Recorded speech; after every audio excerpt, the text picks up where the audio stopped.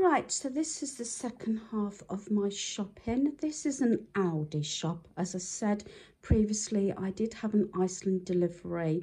Um, then when Danny was able to take me shopping, I said I was going to go either Lidl or Aldi or somewhere else, mostly to get sort of fresh pieces and a few other bits that I didn't get. I must admit, um, I have a budget each week. It is quite a high budget for food.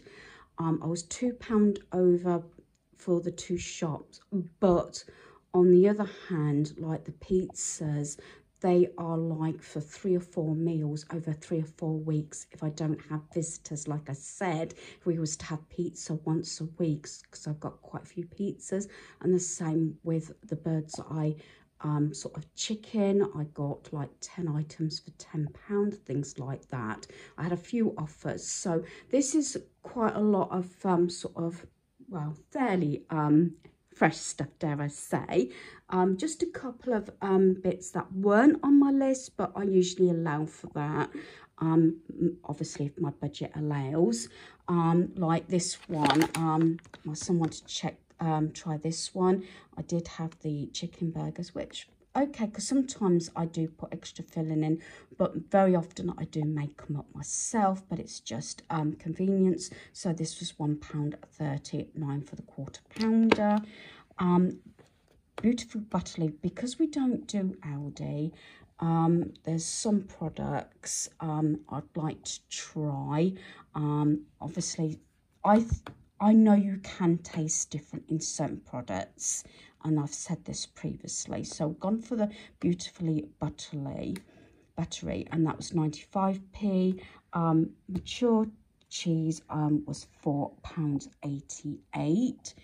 You might notice that realistically some of the products are very similar or um, the same as what I normally get. I've still got crisps from last week because we've done really well. This is 24 packets for £2.59, but because we went for um, a mixture of sort of plain cheese and onion salt and vinegar, we've gone for like different um, actual crisps this time.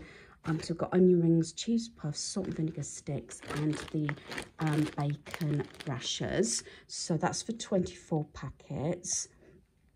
I think the rolls about the same. We did have Warburton's. I had it at the back of my mind. I thought Aldi didn't do name brands, but I don't know if it's something they've always done or it's a recent thing. So these were £1.85 for 12. I froze um, most of the other rolls and we'll probably use half today and freeze the other half for packing up and everything. So I think they're about the same price between Lidl and Aldi. Um, we got the smoked British um, ham and that was, I think that was one pound. I can't really read that. One pound 99, I think that was and then we've got the um, butcher's corned beef 89p cooked beef sorry because my son fancied um, that. I understand they only have free range I think eggs at Aldi so these were £2.69 um, I don't know if anybody else is bothered what type of eggs they have and these are the large ones. And because I've got some banana instant whip and I've got plenty of milk um, I bought some bananas, 78p, so I tend to slice those up in with Instant Whip. Um, so that's those. The shaving gel, I think, is um, about the same, but this is a different make. This was 99 pence. And um, not sure if we've tried this make on the um, dip. This is a sour cream dip. But as you know, it can be up to £2.50 um, for a leading brand and this was 89p so we thought we'd try that. And as you know we're a great lover of tortilla chips. These were 57p I'm not sure if this is the same quantity and Daniel picked these up. Um yes this is where I went if you can call it over budget by the two quid was because of um, Pringles but these weren't bad they're the full size ones 185 Gone are the days when you could get them for a pound. And um, these are the 185 because sometimes I think it's 160 um, sometimes for the same price or more. So we've got two cheese and onion and prawn crackers. That's probably, and this is our treat um, when we're watching a movie or something because um, especially with Daniel now doing longer hours and back at work, you know, um, sometimes he doesn't want to go out, bless him. So um, we've got the orange juice. Now, this is £1.69. No, I like fresh orange juice, but I have to be careful because obviously the natural sugar. Um, I thought this was quite expensive um but we shall see if it's the orange juice and it tastes like fresh orange juice. We got some orange juice. I can't remember where it was from now whether it was iceland. It said fresh orange juice but to tell you the truth when i was drinking it it just tasted like um ordinary orange juice, if you know what I mean, Robinson's. So I do like, even if it's just a very tiny glass, I do occasionally like my um, fresh orange juice, especially if, you know, I'm feeling under the weather or something. Milk was one pound I can't even read that. My eyes are really bad. £1.20. I have got hospital appointment. I've got a feeling it's going to be um, another injection again maybe laser treatment, I don't know. Um, but I have had a few really rough weeks, I should say. Jaffa Cakes, raspberry, 85p. Um, maybe I could got a better deal, I don't know, somewhere else. But they are actually McVitie's, so yeah. Potato salad, this is a hit and miss with um, me and Daniel. 99p. Um, some we like, some we don't. So I just got a small one of that. I think the corned beef, I'm sure I paid something like £2.49. Maybe I've got this wrong. This is Bramwell's, which is a lot of Aldi make. Um, and this was £2.09. So I just got the one can. This is where, one of the products where taste does tend to differ. I've got two different beans here. This one is definitely smaller that was done on purpose. When we have beans on toast, yes, sometimes we like the bigger can. If I'm doing it with something else, sometimes we don't necessarily need a bigger can. So this was 42 pence and this was for the 420 grams.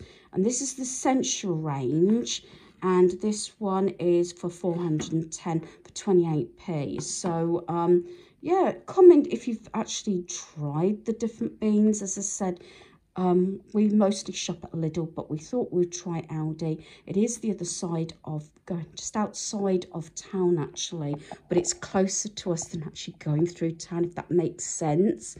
Now, this is the um, X Cola. ZX Cola is that. It says extreme um, taste, zero sugar. We like the Lidl one because it's very close, I think, to Pepsi. This is another one. I don't dare say like Coca-Cola or Diet Cola, but we have picked this up previously and I have to be very careful because it has got um, a slight bit of sugar in it, even though it says um, zero sugar. I think it's very marginal, but I have to be careful. As the one from Lidl, it's not it says zero sugar and it's not got any extra sugar in it's got sweetness so we'll give that a go i think we might have tried it before but daniel said he would take that for sort of packing up he has a smaller bottle and i transfer it rather than because it's cheaper than cans and very cheaper than pepsi yeah I think I mentioned this before. Pepsi seems to have gone back to the old label. These are 179 not the best deal. I think the cheapest I've been getting is 165 but I've only, we normally get more um, sort of um, diet Pepsi, whatever you like to call it, whichever make you have um, each week. But I've still got some from um, a previous week, so I'm not too bad at the moment. So I think that concludes it. Um, realistically, although I was £2 over budget with the two shops, it's not really, I would call it over budget because like I said, some of the meals that I got from Iceland are not for this week's shop. They were part of a deal or deals and they can be lasting over the next few weeks. Just take it into consideration, I presume, when I um, sort of um, do the following week's shop um, and see how that goes. But sometimes um, my freezer does get a bit low. It never used to get this low, but it's got low because I'm trying to use everything up and cut down on wastage, if any. So hopefully you've enjoyed this video. Thanks for watching. Goodbye.